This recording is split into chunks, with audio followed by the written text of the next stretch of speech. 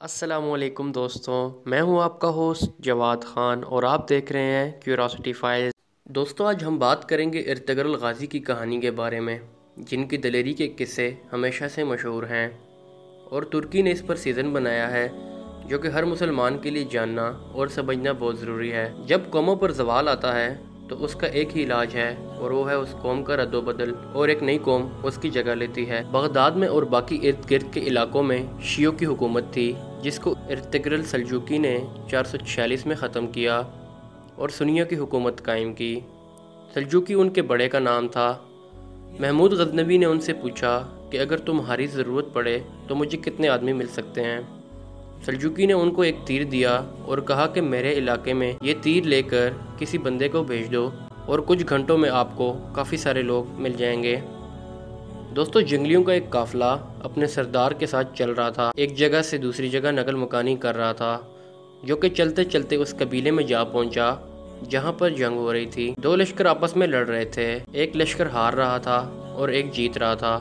یہ قافلہ دونوں میں سے کسی بھی لشکر کے بارے میں نہیں جانتا تھا۔ اس قافلے کے سردار کا نام ارتغرل تھا۔ اس سردار نے اپنے قافلے کو حکم دیا کہ جو لشکر ہار رہا ہے، ان کی مدد کرو۔ چار سو افراد نے جیتنے والے لشکر پر حملہ کیا، جنہوں نے ان کو بہت مارا۔ ہارنے والے لشکر کھڑا ہونے لگا اور جو جیت رہا تھا، وہ بھاگنے لگا۔ جنگ کے حالات بدل گئے۔ جنگ کے بعد ہارنے والے لشکر کے بادشاہ نے ان سب کو بلایا اور پوچھا کہ کیا تم لوگ مجھے جانتے ہو؟ انہوں نے کہا کہ نہیں۔ انہوں نے جواب دیا، تم نے میری مدد کیوں کی اگر تم مجھے نہیں جانتے؟ آگے سے جواب ملا کہ صرف انسانی ہمدردی کی وجہ سے ہم نے آپ کی مدد کی تھی، کیونکہ ہم نے دیکھا کہ آپ ہار رہے ہو پھر اس ہارنے والے لشکر جن کی مدد ارتغرل نے کی، اس کے بادشاہ نے کہا کہ میں سلمان سلجوکی اور میں ترکی کا بادشاہ ہوں۔ جس لشکر کی مدد ان جنگلیوں نے کی تھی، وہ مسلمان لشکر تھا اور تاتاری، جو کہ ان کے دشمن تھے، جن کے خلاف ارتغرل نے ان کو بچایا تھا۔ تاتاری جیت رہے تھے اور مسلمان ہار رہے تھے۔ اللہ نے ارتغرل کو مسلمانوں کی مدد کے لیے بھیجا تھا۔ بادشاہ سلیمان نے ارتغرل کو اپنے پاس رہنے کی پیشکش کی، جو پیشکش ارتغرل نے قبول کر لی۔ پھر ان کو ترکی لے جایا گیا، استنبول، جس کو قسطنطنیہ کہا جاتا ہے، وہ روم کی حکومت میں تھا، جس کا ارتغرل کے آئندہ آنے والی نسلوں نے فتح کیا تھا۔ روم کے حملوں سے تنگ سلطان سلیمان نے ترکی اور روم کے بیچ میں موجود کچھ جگہ دے دی اور کہا کہ ان کے حملوں سے میں کافی تنگ ہوں۔ لہٰذا وہ اس جاگیر کو اپنے پاس رکھے اور میرا دفاع ان حملوں سے کیا کر۔ جو قبیلہ ارتغرل کے ساتھ نقل مکانی کر رہا تھا، اس کو لے کر اسی جگہ پر جو کہ سلطان سلیمان نے ان کو دی تھی، اس پر آباد ہو گئے اور ایک حکومت قائم کی۔ وہاں پر زندگی گزارنا شروع کر دی۔ پھر ایک شیخ سے ارتغرل نے بیعت کر لی۔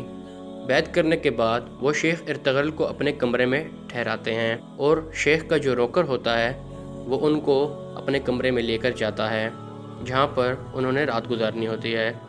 کمرے میں جانے کے بعد ارتغرل اپنے سامنے قرآن پاک رکھا ہوا دیکھتا ہے اور پوچھتا ہے کہ یہ کیا چیز ہے۔ شیخ کے خادم ارتغرل کو جواب دیتا ہے کہ یہ اللہ کی کتاب ہے۔ وہ خادم ارتغرل کو چھوڑ کر اس کمرے سے چلا جاتا ہے۔ ارتگرل ایک جنگل میں رہنے والا انسان ہوتا ہے اور پہلے کبھی قرآن کے بارے میں نہیں سنا ہوتا، نہ دیکھا ہوتا ہے۔ ارتگرل کے دل میں خیال آتا ہے کہ اگر یہ کتاب اللہ کی ہے تو اس کے سامنے سو جانا بھی بہت غلط اور گناہ کا کام ہوگا۔ لہٰذا قرآن اٹھایا اور اسے اپنے سر پر رکھ دیا اور کھڑا ہو گیا۔ اپنے سر پر قرآن لیے ارتگرل پوری رات ایسے ہی کھڑا رہتا ہے۔ کھڑے کھڑے ارتگرل کو ایک خواب آتا ہے کہ اس کی پشت سے چاند نکلتا ہے، جو کہ شیخ کی بیٹی کے سینے میں جا کر اتر جاتا ہے۔ اور پھر اس لڑکی کے سینے سے ایک درخت نکلتا ہے، جو کہ پھیلتے پھیلتے تین براعظم تک پھیل جاتا ہے، افریقہ، یورپ اور ایشیا۔ پھر وہ جاگ جاتا ہے۔ صبح اٹھنے کے بعد ارتغرل نے یہ خواب شیخ کو سنایا۔ جب یہ بات شیخ کو پتہ لگی تو شیخ نے اپنی بیٹی کا نکاح ارتغرل سے کر دیا۔ پھر ان کا بیٹا پیدا ہوتا ہے، جس کا نام ارتگرل نے عثمان رکھا تھا اور اسی بیٹے نے اسلامی حکومت کی بنیاد رکھی، جو کہ آٹھ سو سال چلی، جو کہ نائنٹین ٹوئنٹی فور تک قائم رہی۔ پھر اس سلطنت کے ٹکڑے ہوئے، مگر پھر بھی اللہ نے ہر ٹکڑوں میں جمباز لوگوں کو پیدا کیا جو اسلام کی دعوت دیتے رہے۔ سلطنت عثمانیہ کے قصے کافی مشہور اور دلکش ہیں، جس میں اگر ہندوستان کے مسلمانوں کی بات کی جائے تو ان سے محبت آج بھی ہے اور کل بھی تھی۔ تحریک خلافت کے بارے میں اگر آپ نے سنا ہو اور آپ کو یاد ہو تو اس میں مسلمانوں نے ترکوں کا ساتھ دینے کے لیے بہت کوشش کی اور انگریز حکومت پر کافی دباؤ ڈالا کہ سلطنت عثمانیہ کو ٹکڑوں میں بانٹا نہ جائے، مگر دو قومی نظریہ جس کی وجہ سے پاکستان وجود میں آیا، وہی خنجر ہندوؤں نے مسلمانوں سینوں میں گھونپا اور تحریک خلافت ناکام ہو۔ طیب اردگان ایک نہایت ہی قابل فخر اور دلیر موجودہ دور کے لیڈر ہیں، جنہوں نے اس سیزن کو سراہا۔ اور عمران خان نے بھی اپنی قوم کے لیے اس کو پاکستان میں نشر کرنے کے لیے کوشش کی اور کامیاب ہوئے، جس کے لیے مغرب کافی مشکلیں پیدا کر رہی۔ مگر پھر بھی یہ ہمارے لیے نشر کیا گیا۔ دوستو، اگر ویڈیو پسند آئے تو سبسکرائب کریں اور بیل آئیکن پر ضرور کلک کریں تاکہ آپ آنے والی ہر ویڈیو سے فائدہ اٹھا سکیں۔ اپنا خیال رکھیں۔ ملتے ہیں اگلی ایک اور انٹرسٹنگ ویڈیو میں۔ اللہ حافظ۔